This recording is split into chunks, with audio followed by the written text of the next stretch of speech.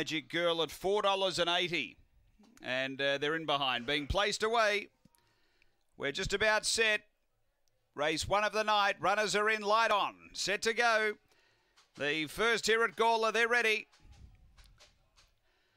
Racing and speed toward the inside. You Magic Girl out quickly. Oh, taking a tumble. Andy's handy at the back. And the leader is You Magic Girl, headed by Spiritual Vision. Then Hayride Reed from Miss Fab Focus. And out the back, Australasian Sky. The leader is Spiritual uh, Vision in front. You Magic Girl ran wide. Spiritual Vision is clear of You Magic Girl. And Spiritual Vision on debut beats You Magic Girl. Third, Hayride Reed. Then Miss Fab Focus. They were followed by Australasian Sky. And Andy's Handy took a tumble early. It chased him into the pen. The time is around 23 and 60.